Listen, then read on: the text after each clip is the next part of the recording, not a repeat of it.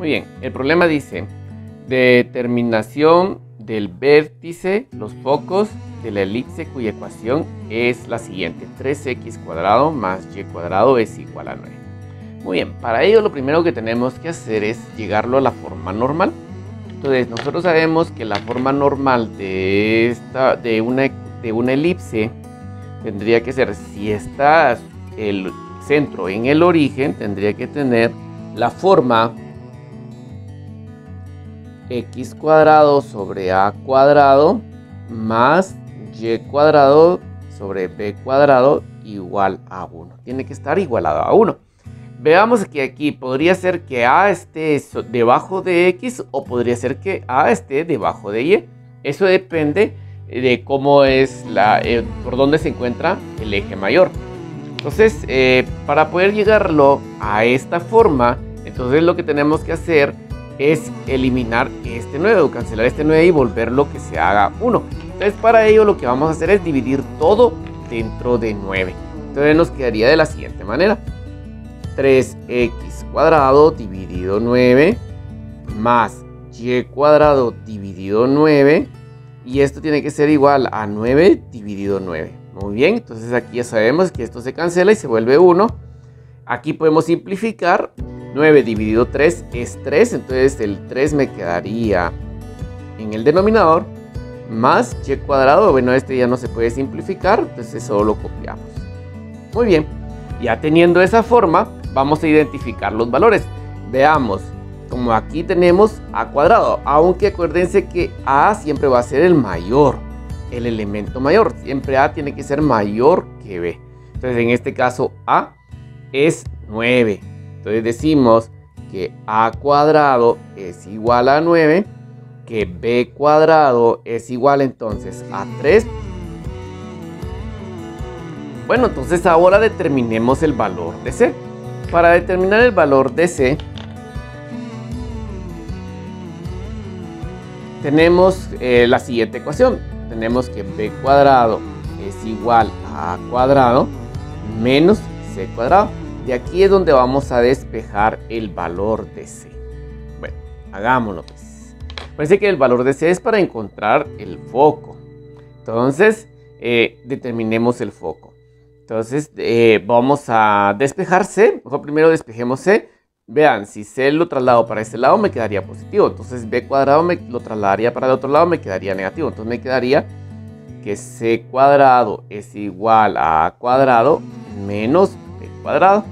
Hoy sí vamos a resolver esto que tenemos acá para encontrar el valor de C, de C, no de C cuadrado. Aquí me sirve A cuadrado y B cuadrado, pero ahora aquí me tiene que servir C cuadrado. Entonces, eh, para encontrar el valor de C, va a ser la raíz cuadrada de quién? De A cuadrado, que es igual a 9, menos B cuadrado, que es igual a 3. Muy bien, entonces resolvamos. Entonces C va a ser igual a la raíz cuadrada de 6. Ok ya tenemos esos valores, entonces ahora sí ya podemos determinar lo que nos estaban pidiendo. Eh, en primer lugar nos estaban pidiendo el centro. Muy bien, el centro para esta, esta elipse estaría en el punto que dijimos que era en el origen, entonces sería 0,0. Luego vamos a identificar los focos.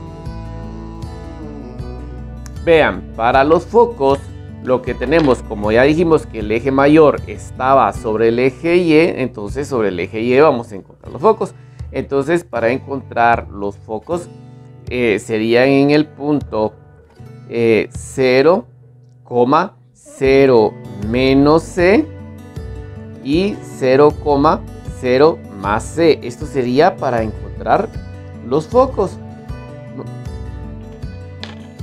Bien, entonces eh, los focos tenemos, el foco 1 sería 0,0 menos raíz de 6, sería negativo raíz de 6. Y el otro foco sería en 0, más la raíz de 6. Sería entonces raíz de 6. Ya tenemos los focos. Ahora vamos a determinar los vértices mayores y el vértice menor. para el eh, vértice mayor, vértice mayor, sería entonces, eh, también lo encontramos sobre el eje Y, entonces sería 0, 0 más A, vean, ahora ya es A, ya no es A cuadrado, y 0, 0 menos A.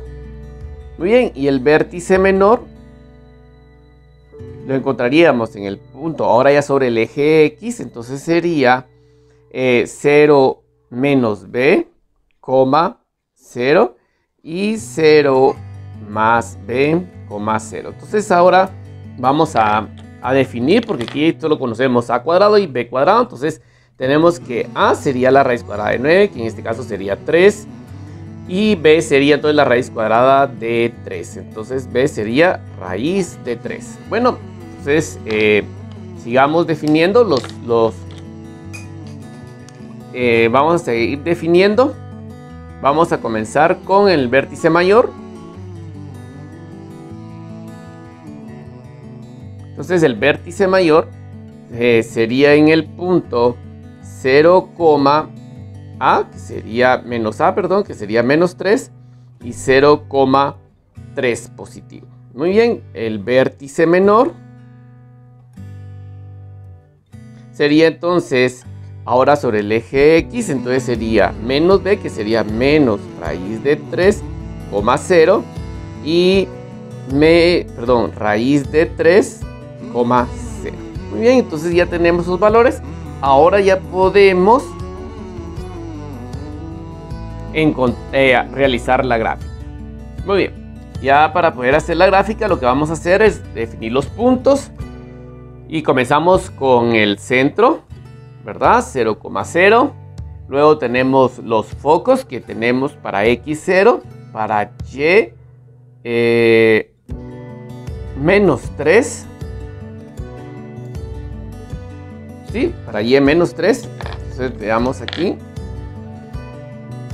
Muy bien, vamos a definir los puntos de los vértices. Eh, entonces el, vértice mayor tenemos en 0, menos 3, sería en este punto de acá. Y para el otro punto sería 0,3 positivo. Muy bien. Ahora vamos a ver los focos, perdón. Eh, los focos sería 0, raíz de 6 menos raíz de 6, que es más o menos 2.44. Muy bien, esto sería el foco.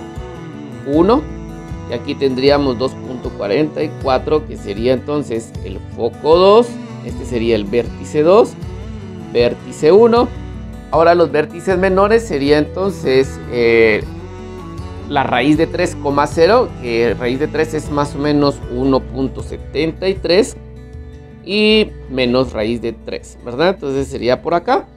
Ahora sí ya podemos trazar la elipse